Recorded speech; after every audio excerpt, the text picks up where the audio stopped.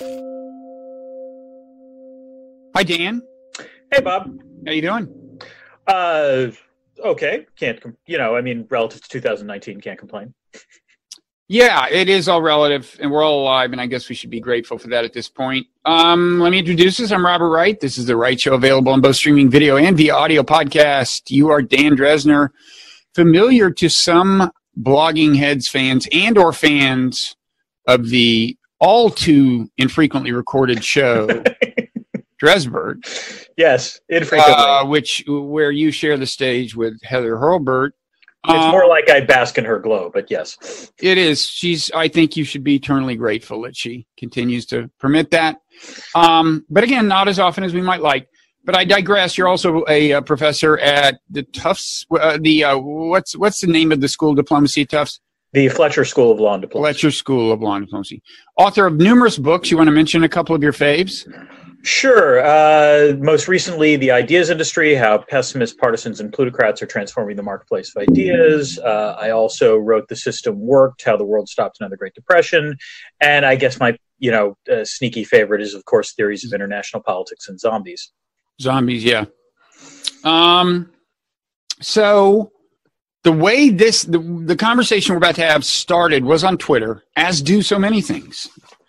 Started on Twitter, Mhm. and I actually just hunted hunted down the exchange. So you and Corey Robin were having an exchange.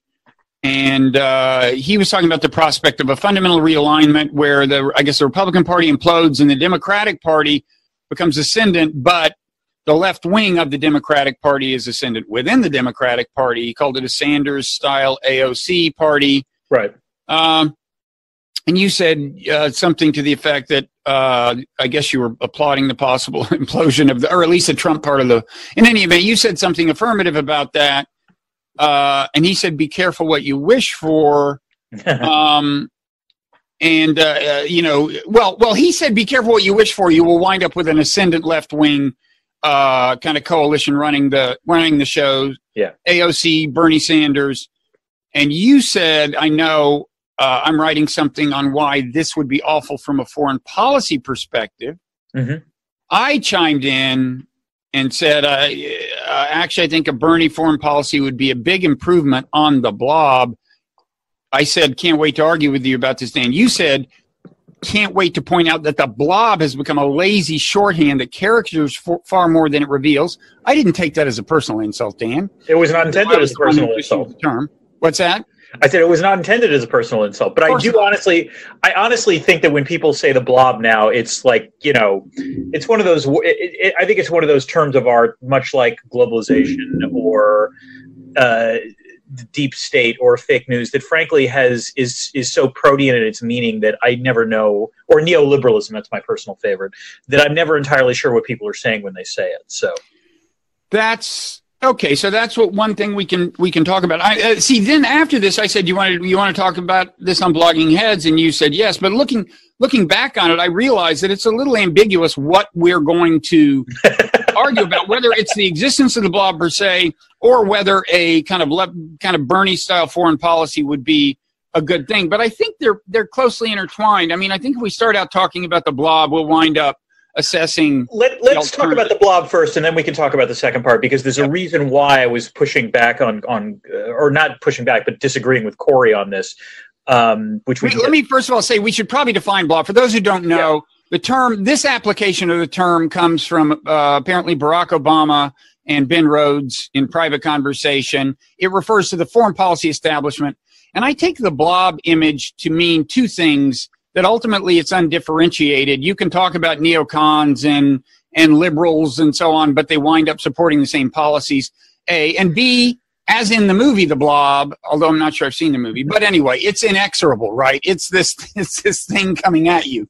Um, see this is and and this is where I will start by pushing back. I uh, the I I am uncomfortable with the idea that one of the nice one of the, the reasons that the term the blob is appealing is precisely that it, as you say it makes it it makes it seem like every foreign policy person in Washington has the exact same point uh, you know points of view or that liberal internationalists will back up neoconservatives who will back up realists and, and so on and so forth and you know I, I guess I would push back on that in two ways. First, you know, in my opinion, there are plenty of people that you would consider entirely respectable members of the foreign policy community that would not necessarily hold views that would cotton to either neoconservatism or, for that matter, liberal internationalism. You can be someone like Chris Preble at Cato, and I, I think he's a member in you know good standing of the foreign policy community. He's certainly not a member of the blob. The second, he's certainly not. But yeah. I think he would tell you that he feels like I actually just saw him. I suspect he would tell you that he feels that he is not uh, allowed into the true corridors of power. That that the actual debate that governs what we wind up doing um, doesn't include his perspective in a meaningful way.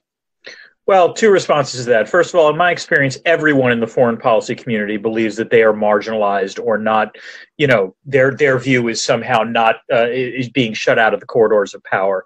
Um, and indeed, furthermore, I would suggest that the very you know the the protest by so many people in the blob about the nature of Trump's foreign policy. One of the things I'm very amused by is is in some ways the sort of bank shot that a lot of people are trying to engage in to simultaneously criticize the blob. And also, the way they criticize Trump is by saying Trump's foreign policy is not different from the blob, it's just the blob on steroids, or that it's just the blob stripped to its naked essence. Which does raise the question if that's the case, why is the blob ostensibly, or why are, you know, mainstream members of the foreign policy community by and large pretty damn hostile to the Trump administration? I'm not entirely sure. I, I, I so uh, uh, this, this is something I have that. Okay, good. First of all, I think they started off being more alarmed than they now realize they have reason to be. In other words, he has oh. wound up doing more more of the blob's bidding than was originally envisioned. Oh, I would disagree strongly with that. I I no. I do not buy well, that let's at take all. His, pol- his policy on Iran is like a neocon's dream. I mean, it, now now it, it's true that it's even even more hawkish, and th- this this this may be uh, is works on your side of the argument yeah. in the sense that it's even more, more hawkish than your liberal interventionists would like. I think mm-hmm. they'd say it's recklessly hawkish, uh, but it's a neocon's dream. I mean, I think in a lot of realms he has been captured by segments of the foreign policy establishment Iran, oh. I don't know how much capturing it took. Maybe this disposition existed during the campaign, but but he's he's uh, he's almost a caricature of a neocon on Iran. When, whenever he tries to do something radical, like I'm going to withdraw troops from Syria, it's like, oh, never mind, we'll leave 400 of the 2,000, and then three weeks later, never mind, we'll leave a thousand of the 2,000. He he can't. He doesn't seem able to successfully combat the blob. So again, this is where I don't. We're not talking about the blob here. Let's be very clear what we're talking about. We're talking about John Bolton and Mike Pompeo. Um, now, if you want to call them members of the blob, and I know there are certain foreign policy writers, and you know, and I hear, I I start blanking on the names. I think Stephen Wertheim is one who like you know claims that Bolton is a member in, in good standing of that, which again is rather odd because again most people that I know that would be considered very blob-like don't have uh, you know, don't consider Bolton to be that kind of person. Um, so th- this is certainly. I, am not going to disagree with you that that Bolton and Pompeo have managed to get Trump where they want to, you know, him to be on Iran. The Iran policy, however, is not one where I necessarily think the blob is in agreement with what Trump has done. I mean, by and large, there was genuine debate about whether the Iran deal should have been um, entered into. But I would also suggest that most of the people, even the people who are opponents um, potentially of the Iran deal, were not necessarily crazy about the idea of sort of unilaterally withdrawing from it. Um, and there's no denying that neo, some neoconservatives are perfectly happy to, to, you know, with with how the Iran policy has gone. But again, that's a tiny sliver, I think, of the blob. And to say that neocons supported it, ergo the entire blob be damned, is again one of those reductio ad absurdum arguments that I don't think is is terribly productive. Yeah, I'm, I mean, I'm not arguing that his Iran policy is kind of uh, centrist blob. Mm-hmm. I, I, would say it it accords with the views of a significant segment of the the blob, which I would say is the hardcore core neocons. I think there's a lot of neocons who are happier with what he's doing than they would have been with us remaining in the deal. That's probably correct. Um, I, I, I, won't push back on that. But again, on the other hand, this points out that there are differences within this ostensibly homogenous community, which is to say that I would argue that the over, I would argue the overwhelming majority of, of sort of what we would consider foreign policy experts, if you polled them, would have opposed the withdrawal from the Iran deal. I don't think neoconservatives are necessarily all that large of a, a slice of it. Uh, I think I think that's true. I don't think he's done the, the bidding of a majority of the blob in the case of Iran. I think that's a good point. Um, I, what I would take my definition of the blob hypothesis would be not that the entire U.S. foreign policy establishment agrees with one another on everything or everything of consequence. Um, it would, it, although, I mean, the Iraq War is a case where they pretty much agreed uh, among themselves on something of tremendous consequence that turned out very badly, and and maybe that's where uh, the hostility of some of us toward the blob begins. But in oh, any event, yeah, I, I think take, that that is ground zero of hostility to the blob. Yeah, well, and you know, and I think frankly, there there's a lot of annoyance that all of the people who favored the the war are still kind of running the show on the foreign policy establishment. The, there's no, there's been no successful insurgency launched by the people who opposed it, and that um, and and and an accountable system. Generally speaking, the people who propose the disastrous things see their stature decline, and the people who oppose the disastrous things see their stature increase. That has not happened, right? Well, so I mean, this is where I have to hate to break it to you, but this debate happened 17 years ago. I agree. Uh, so I was I was there. I was there too, and I, I was a supporter of the war, and you know I was clearly wrong about that, and and cop to being wrong, which raises two I, I think issues. The the first is to the extent I, I guess the question is to what extent did people who supported the war back in 2002 2003 move down a learning curve? In other words, to what extent you know, can you argue that someone circa 2019 is not necessarily going to make the same arguments that they would have made circa 2002?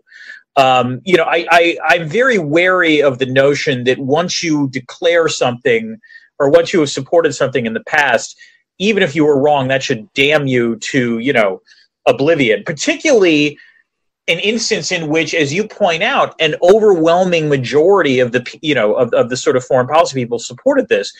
Now, the, I think there are two inferences you can draw. One is everyone whiffed on it, that there was, you know, there was a, a significant error in no small part based on the information that was available at the time. Or was it a, you know, I, and I think this is where I, I start to, to get I, I, don't buy it. It's an argument of, oh, this is just a classic example of corruption and inbreeding, and and you know, um, a, a an elite that is uh, designed to you know protect itself. Um, that is certainly a very popular argument to make now. Yeah, if you want to see, uh, uh, uh, I think a smart version of it, Steve Walt's most recent book, whose name is right. me, makes the makes that argument. Right, right, right. Um, you know, and again, Walt deserves his due on this because he was one of the people that was right, uh, you know, on on Iraq.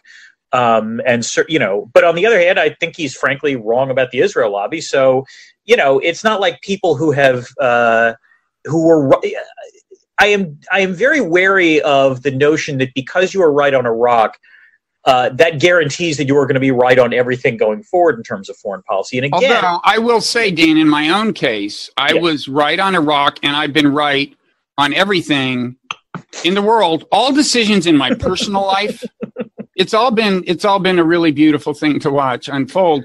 But let me, but seriously, I, I, this I think we're we're approaching what I think is the anti-blob critique of the blob is that we yep. in the anti-blob think that actually far from learning your lessons the, the blob has actually evinced repeatedly a failure um, to grasp uh, some important lessons of iraq. And let me give you two examples. Okay. One and you can't attribute this to neocons because it was Hillary Clinton, although some of us might argue that the difference between her and a neocon is not quite as sharp as we might hope. But anyway, she was Secretary of State mm-hmm. when the decision was made to turn what was supposed to be a limited humanitarian intervention in Libya right. into a regime change operation. Right. she had much support within the foreign policy establishment broadly. Disaster ensued. What does that have to do with Iraq? Again, well, regime change. That's what it has to do. The assumption that you're going to be able to unseat a regime and like democracy will magically flourish or even order will magically flourish. Okay. So we would say that that was the same mistake. I would say two things in response to this. First, eh, the the notion that the foreign policy community was super eager to get into Libya does belie the fact that, in fact, the administration, if you recall, was sort of dragged into Libya, on, interestingly enough, by its allies. Um, that it was Britain and France that were much more eager to to intervene in Libya than uh, than the Obama administration. Indeed, even within the Obama administration, it was more the sort of humanitarian wing that that wanted to get involved again, precisely because of of you know the potential uh, looming disaster in Benghazi. The second thing is, is that I don't think you can talk about Libya without also talking about Syria. Um, because Syria, I want to talk. I want to talk about Syria. Okay, That's, because in some ways Syria is the flip side of this. Syria is the tale that the blob would tell you, which is to say that okay, w- without in any way saying that Libya turned out great, because clearly it did not. Syria is the instance in which there was no intervention, at least originally. You know, as the situation descended from what was a civil society uprising into what becomes civil war, there are pressures to intervene, and Obama. And this is the this is the part where Obama sort of proudly thinks he's broken with the blob, and and you know decides he's he's not going to intervene. Instead, cuts the deal with Putin, and so on and so forth. Um, it's not obvious to me that Syria turned out any better. And in fact, you can make a case that it turned out far, far worse. Oh, so oh, it did turn out badly. What I, what I here's my point. As a social scientist, the lesson I learned from this is that maybe the, the lesson to learn is that it's not that U.S. military intervention is the crucial variable that leads to disaster. It's something else that's leading to disaster. It just turns out that U.S. military intervention doesn't necessarily have the salutary effect that uh, that many of its proponents might hope. But in that sense, that's aside for you know that's a, a data point for you. But I don't think that you know in the end these are all of these cases are what you know to use a technical term boil down to shitty choices. Um, and in some ways, that's the essence of foreign policy. It's it's making the best of a bad set of choices that are that are you know at your disposal. And so I'm not sure they're pointing to Libya and saying, see, that was a disaster. We shouldn't have done that. That shows bad judgment. I don't necessarily buy that, I guess, because it's not clear to me that the alternative would have been any better. Okay, so one more word on Libya uh, before I get to Syria. I would just say that uh, although it's true we were, you know, quote, leading from behind in Libya, and Obama himself maybe had to be dragged in. The fact is that once a decision was made to do it, there it, it isn't like there were many people in the blob saying, "No, no, don't," you know, that's uh, fair. No, no, I, I, I, would agree with that. Yeah. Okay. So on Syria, um, I would say uh, it, it, this is this is um, one issue those of us in the anti-blob have with the blob is that everyone in the blob does say there was no intervention in Syria. There was an intervention. It was an intervention by proxy. But yes. weapons flooded Syria from outside, including the United States and and including uh, countries it considers its allies, although they had kind of conflicting aims. But this was not an example of not intervening. It was well, an example of intervening by proxy. Right, but I would say that in some ways, you know, again, it was not an instance in which it was an instance in which by by doing nothing necessarily at the start, it enabled the Assad regime to wind up taking what had been a peaceful protest and sort of guaranteeing that it was turning into a civil war. Now, if you want to say that not arming, you know, elements of the Syrian opposition would have been the better policy, that's an you know I, I think the problem is is that if you I, I do want to say that, but go ahead. Okay. I mean, then you know, so the scenario in that instance is essentially that Assad would have, you know, been more successful in cracking down on his population, and there perhaps would have been somewhat, you know, less uh, of a humanitarian catastrophe. Is that your claim? Um, that's right. Before I elaborate on it, I would say that in a way, my conception of the blob hypothesis is that at a minimum, there are like ideas worth considering that don't get widely considered uh, in the blob. And, okay. and and the one you're we're leading to that you're we're leading up to is is a good example. Um, you don't have to accept my view of Syria, but I think you, as something of a realist in particular, mm-hmm. would at least believe it needs serious, it deserves serious consideration. And I think you'd agree it doesn't get, it's not like there's a lot of people in the blob saying, oh, yeah, this is what we should have done. Yeah, I think in retrospect, um, now I, I, I want to concede, first of all, it's not clear that we could have kept weapons out of Syria. The, a number of regional yeah. neighbors. And on the other hand, we have lev- leverage over a lot of them. So it, it's not clear that we couldn't have. But in any event, uh, just for purposes of the thought experiment, what I'm what I'm comparing is the situation we got with one where no arms uh, are are going into the uh, what became the rebels in Syria. What would have happened? Assad would have brutally cracked down. He's he's a vicious, uh, bad person. Right. It would have been ugly, and horrors would have happened. But I think they would have paled by comparison with the horrors we saw in terms of numbers of deaths, number of refugees. And by the way, at the end of the day, Assad is still running, he still has a state to run. So it seems to me that it's almost a no brainer that, the, in fact, Eli Lake actually agreed with me when I kind of cornered him on this on blogging heads. And he said, yeah, maybe in theory or something. And yet no one in the blob is raising this as a possible critique of what we did. And, and to those of us in the anti-blob, that is mind blowing. It, it, obviously deserves serious consideration, but mm-hmm. there is no vigorous debate within the blob. Um, I, I, I mean, so I, am trying to think how I would respond to this because again, it's not like Syria is my. Uh, uh, I, I I'm not going to dispute that with the benefit of hindsight, you have a you know you have a point, which is to say that knowing how things played out, if you could go back, would you have stopped funding, you know, uh, the rebels? Would that have potentially been a less costly outcome in terms of uh, on the humanitarian side?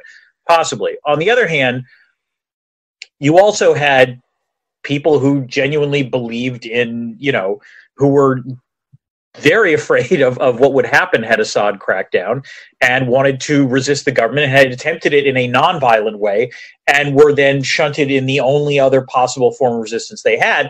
To say no to these people is not an easy thing to do. And I'm not nope. saying that you were, you know, you, you could have, it, it might still have been from a strictly realpolitik US perspective the best thing to do. Um, but that's again this goes back to the world of shitty decisions where right. Well and go and I, I, take your point on hindsight. It was a difficult situation. Right. And and, and but all i'm saying is that yeah. in a properly functioning foreign policy establishment mm-hmm. you do revisit these things and say well even if we can only see this with hindsight let's see what we can learn. How might things have been different? This does not happen at all in washington d.c I, because Dan, I really can tell. I mean, do you really think that's true? I mean, you know, the well, the, I'm talking about on this particular issue with this particular okay. scenario, which I think you've just agreed is worth considering. Oh yeah, definitely worth considering. Does not get yeah. discussed much in Washington. Um, I'm not sure that's the case. I mean, I you know, I, I this is where this sort of talk about forever wars and the talk about you know fatigue in terms of, of U.S. interventions in the Middle East. You know, I, I think you have people that that even if they support it, you know, and, and, this is one of the tricky things. You know, you talk about the U.S. Inter- you know intervention in Afghanistan at the time of the decision of the to intervene. That's something that I think even the anti-blob was in favor of. You know, I mean, there was no denying the U.S. had been attacked mm. from someone in Afghan, you know, from from actors based in Afghanistan. It was entirely good and proper that the U.S. try to you know eject those forces.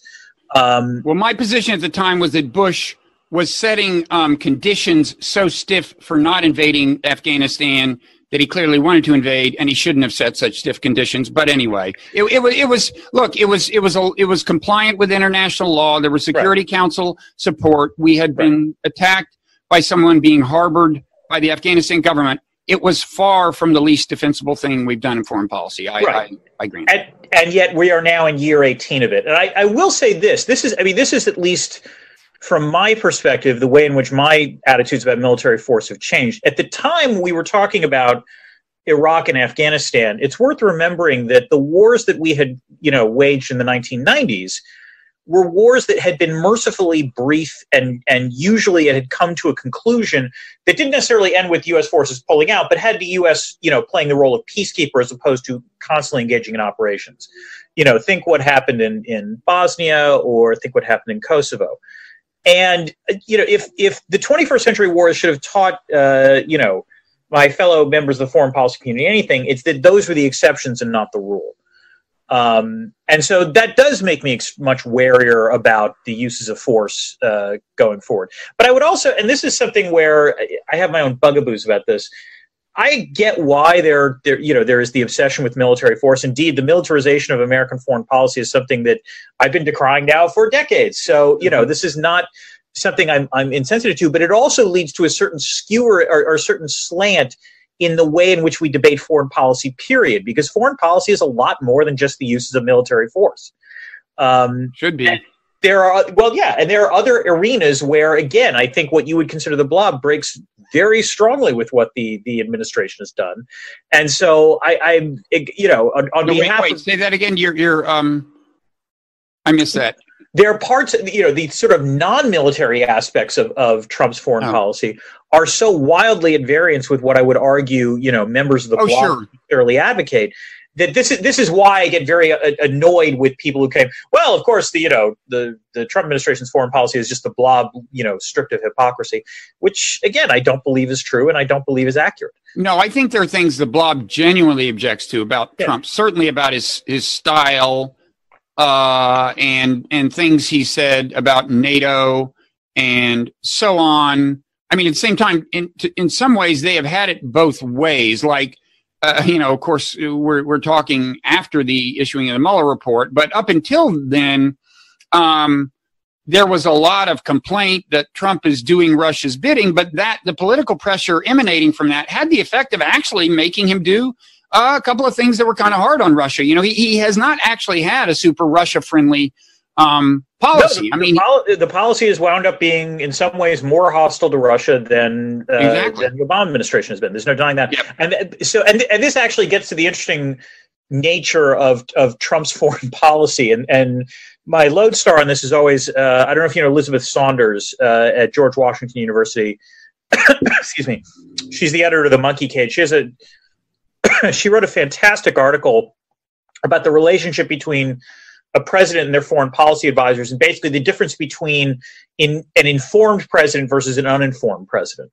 Um, and the compare and contrast she made was between George H.W. Bush versus George W. Bush, where this the exact same advisors who were working in George H.W. Bush's administration in a relatively competent fashion when put in the same position or you know similar positions under George W. Bush, you know, wound up you know freelancing like you wouldn't believe because they knew that the president didn't know that much, mm-hmm. and that's in some way in some ways you're now seeing that on steroids with the Trump administration, where there is no denying that there are areas where you know folks like Pompeo and Bolton have to kowtow to what Trump says. Think about North Korea, you know, that's something where Trump honestly cares about it or cares about you know the belief that that he's conducting summitry well. And so they have to swallow you know whatever objections they have and and you know accord with his wishes. But it gives them free range across a wide variety of issues that trump either doesn't know that much about or doesn't care that much about um, to be able to set policy as they see fit. And again i don't think that the foreign policy community is necessarily you know is at best ambivalent about some of these things and in some cases not you know not uh, supportive of them at all um, in the case of russia you know, I, I don't think there's necessarily hostility to the ratcheting up of sanctions. Again, and in, in, in some ways, again, the, the release of the Barr summary of the Mueller report justifies that because that's the one aspect of the report that is consistent with what preconceptions were, which is Russia did interfere with the election. Mm-hmm. So let me let me um, ask you about um, take this to a more academic plane, kind of. Yeah. Um, I, I, would say there's another thing about Syria that, to my mind, is evidence of the blob at work, and it's the kind of language that was commonly used to describe it. I mean, this involves both Syria and Iran, but a kind of a standard talking point in some circles is Iran is the most destabilizing regime in the region or something like that. And not everyone in the blob says that, but mm-hmm. it's like nobody takes exception to it. And I would just point out that, like, if you're a scholar of international relations, mm-hmm. then I would think that the one kind of working definition, and perhaps the most prominent working definition of stability you have, right, is is first of all basically amoral, right? You're, it's not that that you favor the maintenance of of uh, good regimes. The definition of stability is that the regimes that exist at this point in time stay in power. Nobody starts a war. If you start a war, that's destabilizing. Even right. if you start a war against a bad regime, yes, Still, that's right. it is the it is the disturbance of stability that is by definition destabilizing. Now, mm-hmm. if you look at Iran's role, it is actually it's not the one that destabilized the Syrian regime.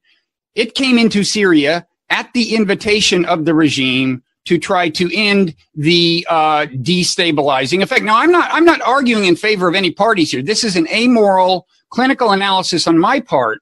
Mm-hmm. My point is just that the um, you know the destabilizing force in the strict sense of the of the the term emanated much more from us and our regional allies than it did from Iran, just destabilizing in the academic sense of the term. And yet, when people and this is generally part of an ideological agenda when they say it. Iran is the most destabilizing country in the, in the region. That's that's generally you know uh, political rhetoric, and none of these people in the foreign policy establishment, so far as I can tell, many of whom claim to to be scholarly in their in their kind of approach to things, none of them stand up and say, "Well, actually, that's a misuse of the term," right? Because if there's anything that advances uh, arguments in the foreign policy community. It's arguing about definitions. Um, well, no, but yeah. I mean, but this is no, no, no, no, no, point no, because that is yeah. a, it's a it's just factually incorrect. That's okay, fair. leave aside terminology. It's a factually incorrect statement that has political valence. And, so, yeah. so I, I never hear. So, so it's interesting what we, you know, what we hear. You know, I, I take your point that, that that's the, the sort of language you hear. The language I tend to hear with respect to Iran is more that Iran has been the winner of instability in the region.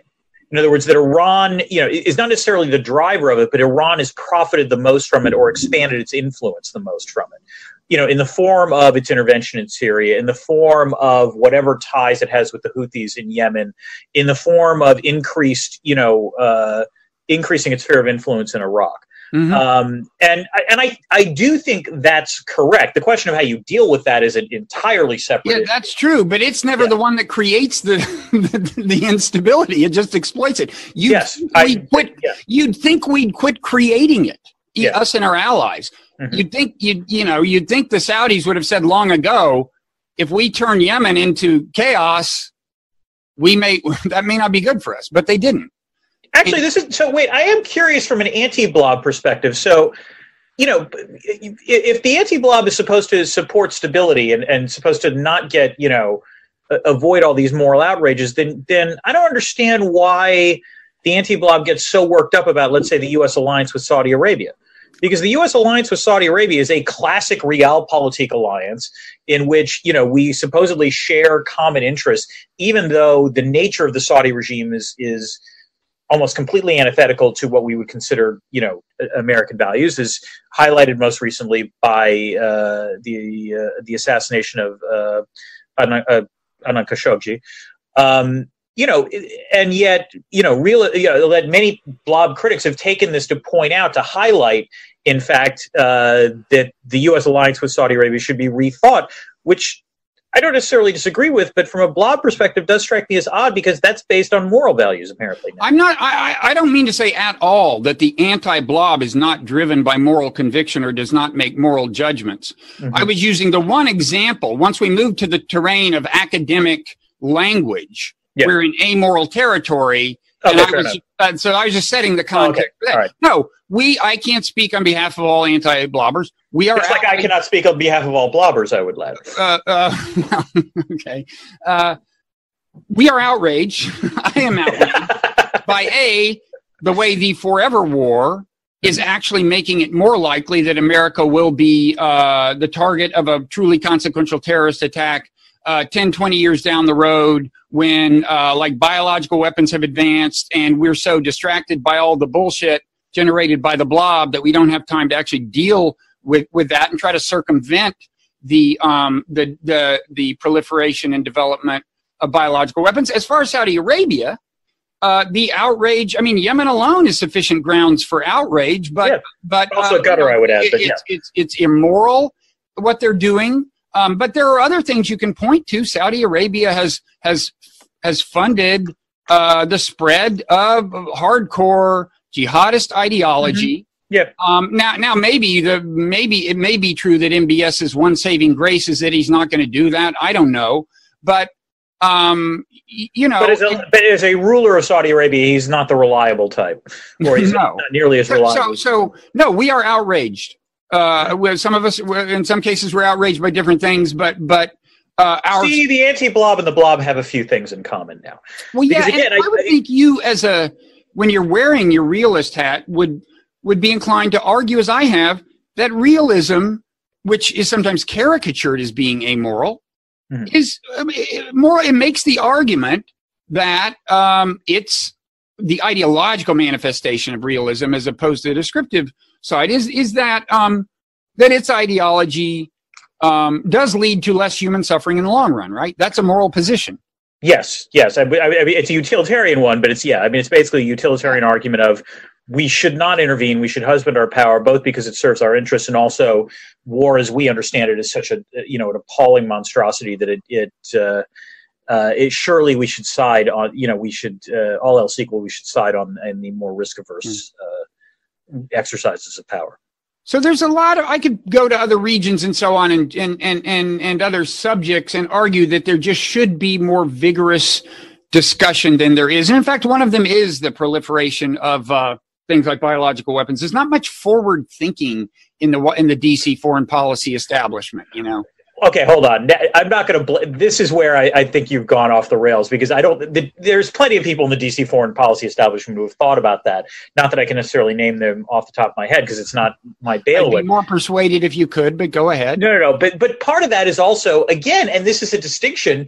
It's that you know if you're in the foreign policy community right now and you're trying to, you know, it is impossible to think beyond a few months because we're dealing with an administration that is careening from one crisis to the next, not necessarily handling anything well. And in some ways, all we're trying to do is try to preserve what few elements of the status quo Trump isn't trying to to muck up. And this is one of the natures of, of the this is one of the paradoxes, and actually one of the things I, I sort of disagreed with Corey Robin about, um, and agreed with Corey Robin about, you know, because we have debates about this. Corey's point, which I think is actually a really good one, is that by and large, Trump is a fundamentally weak president. Um, which is to say, despite the fact that you know he his party controlled both the House and Senate, he actually got remarkably little accomplished um, in his first two years of office.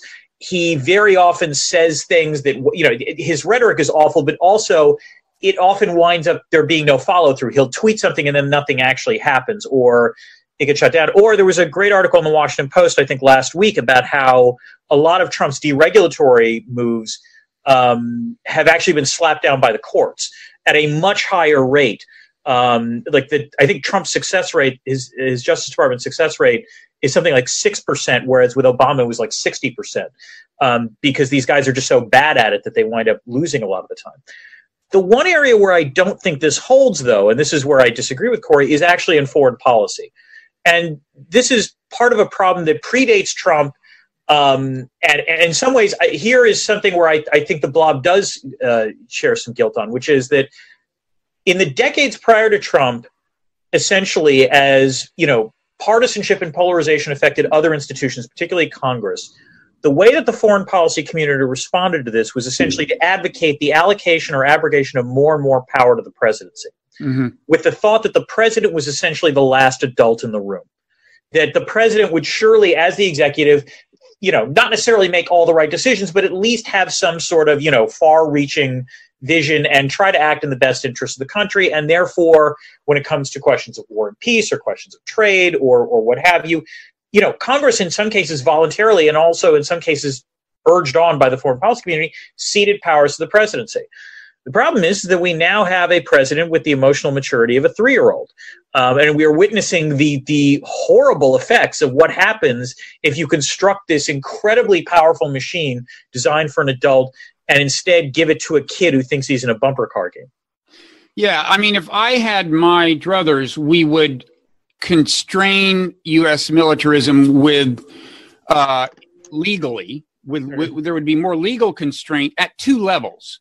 Right. One is that Congress's rightful and constitutionally mandated role in declaring war yeah. would be taken more seriously. Right. A, and then B, at the level of international law, I would like to see us um, take seriously the idea that you, you don't get to attack a country unless either it attacks you or the Security Council grants you authority. If we had abided by that, we wouldn't have invaded um, Iraq. You can argue over whether uh, the morphing of uh, the Libya mission into regime change violated that uh, uh resolution, the, the UN mandate. I think you could make the case it does. But in any event, I'd like to see international law taken seriously by at least some significant fraction of the blob, and yet evidence that it isn't is the following. No one no one ever says, I mean, it, an- another kind of standard thing for the administration, at least to say without a whole lot of challenge is this, the, the Iranian presence in Syria is intolerable. Well, actually, that fully accords with international law. The Syrian government invited it in. What doesn't accord with, inter- with international law is is the repeated Israeli airstrikes against the Iranians and Iranian proxies in Syria. Those are violations of international law.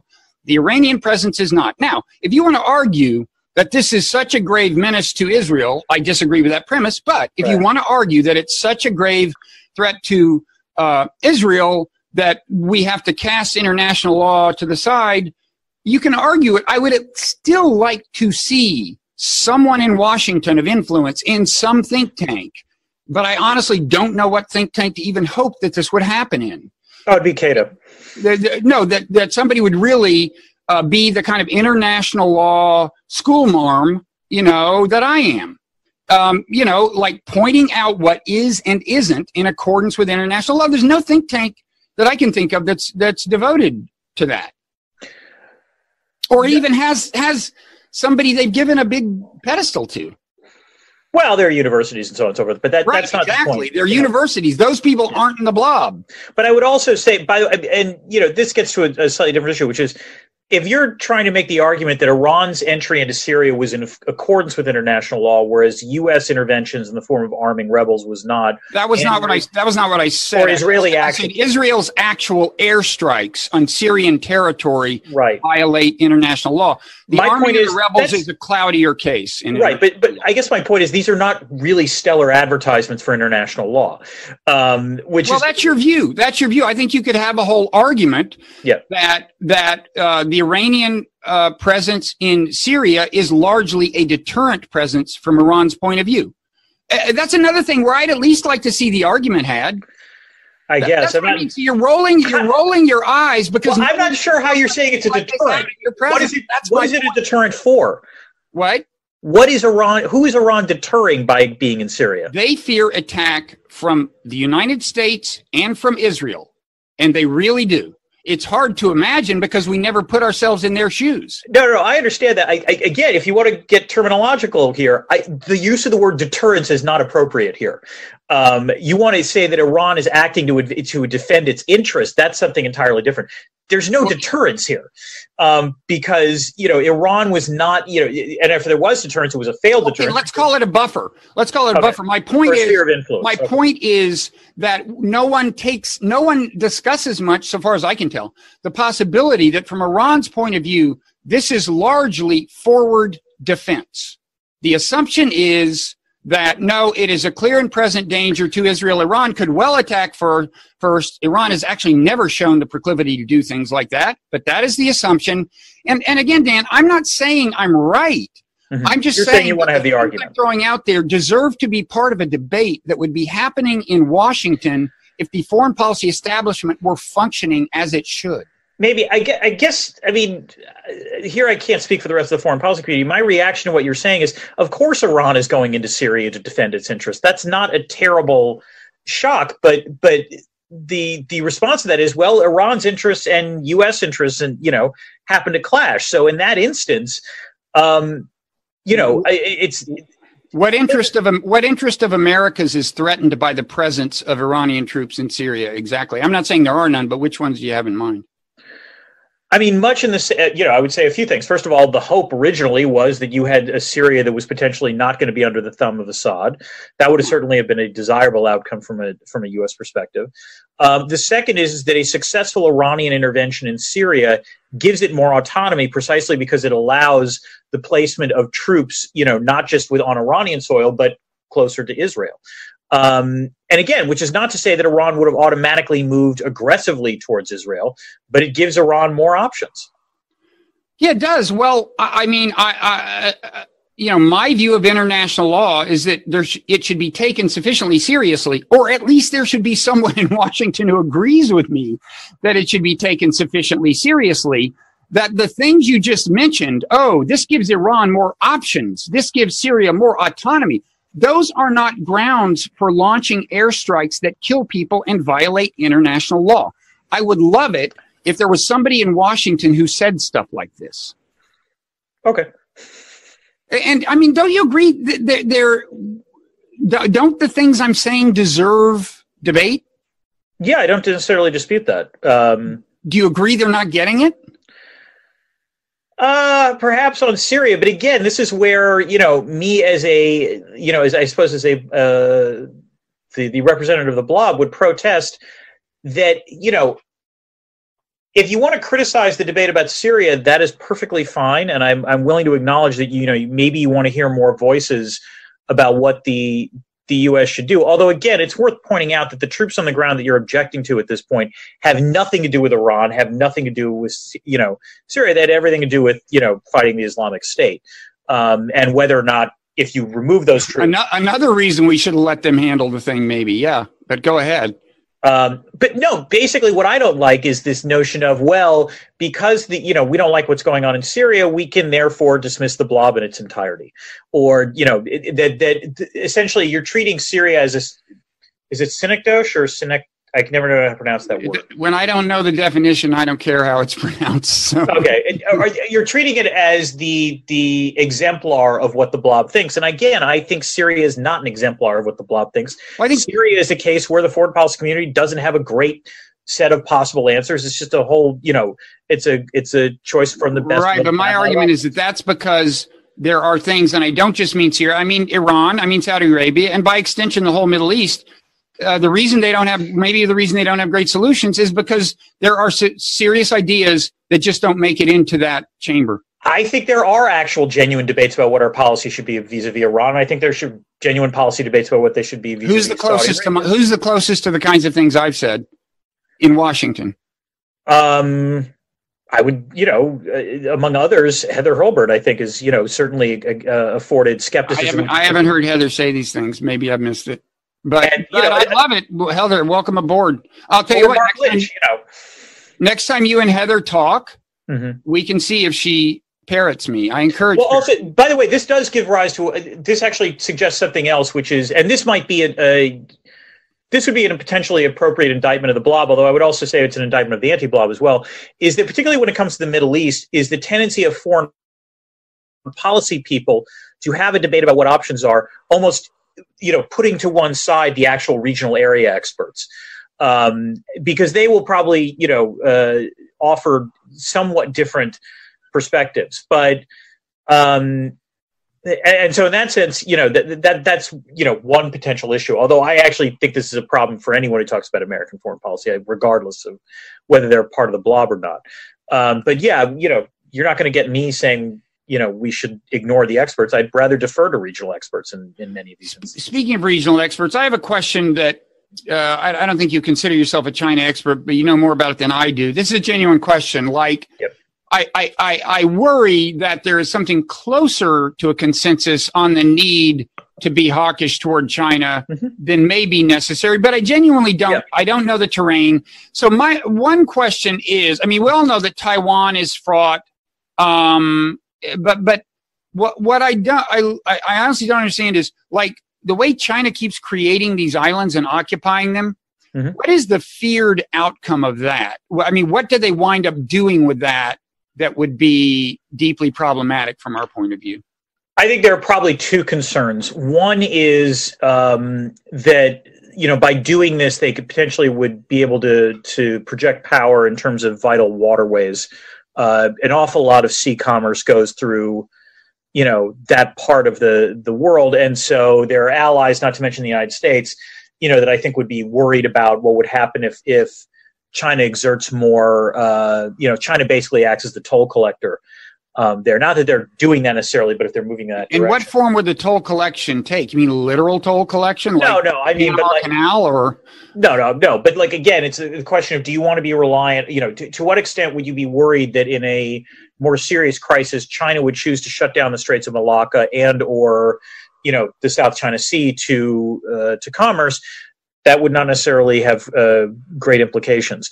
The second um, concern, I think, is the precedent or the the the the question of if China gets its way on the South China Sea, on the, the, sort of Scarborough Shoal and these other islands, will they infer from that that in fact the U.S. will, in the end, acquiesce as well on the East China Sea, on Taiwan, on any you know further uh, extension of, of mainland control over Hong Kong, and so on and so forth.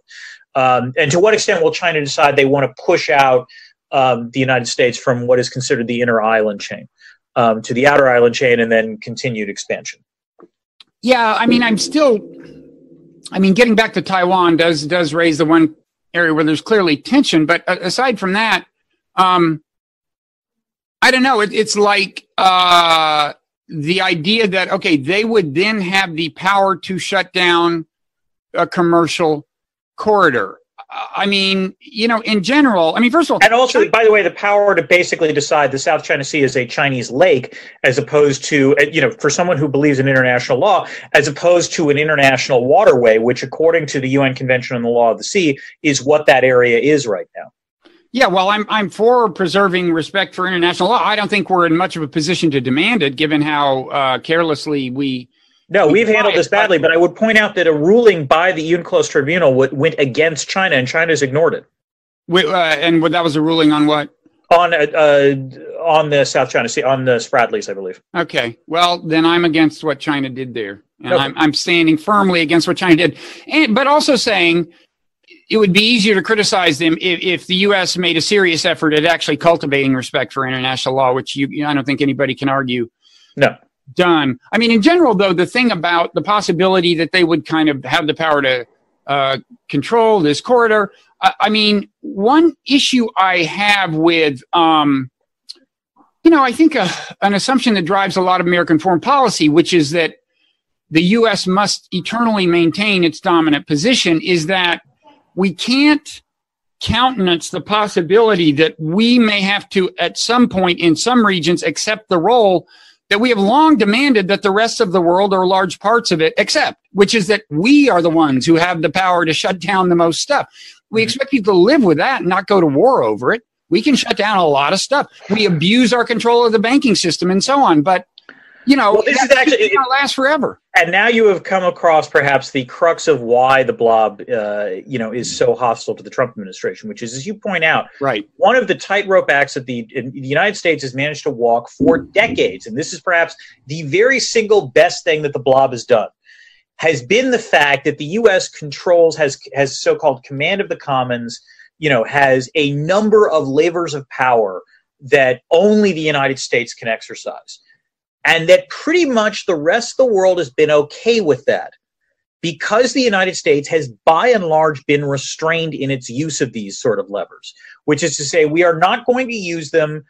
You know, unless absolutely necessary. And if we do use them, we will traditionally rely on allies, build multilateral coalitions in order to be able to show that we're not just going to do this on a whim.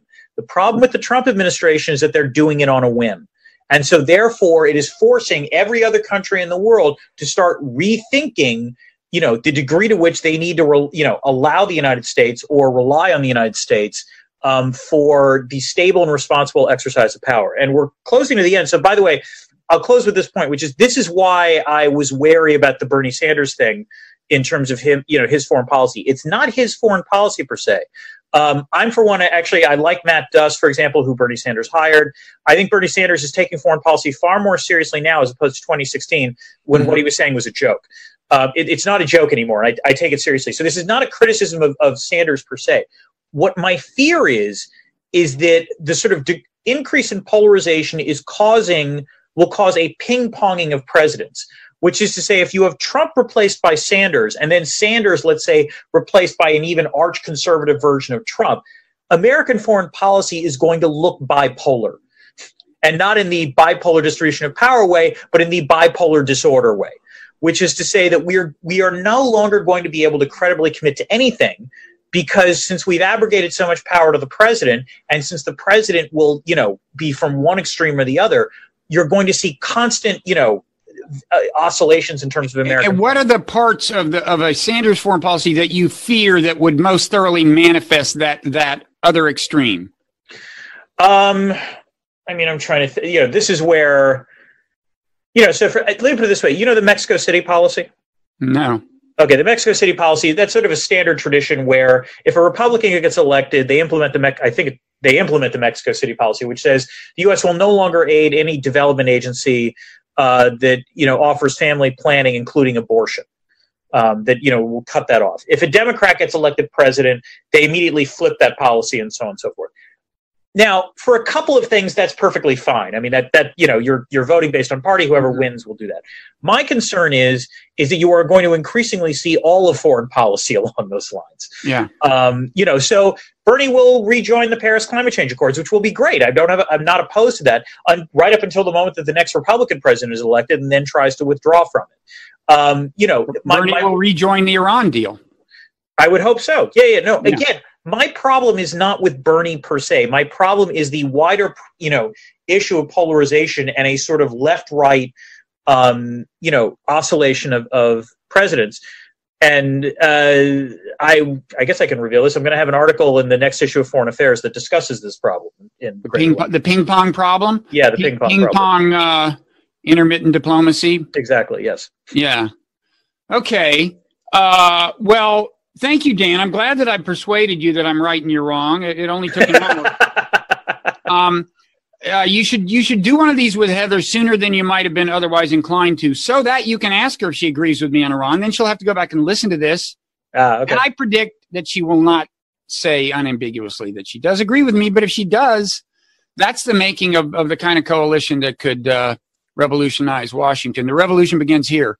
Um, so thanks so much. And oh, where can people find you on Twitter? Uh, they can find me at Dan Drezner. Okay. I'm Robert Wrighter, W R I G H T E R. Thanks a lot. And uh, I will see you soon. Take care.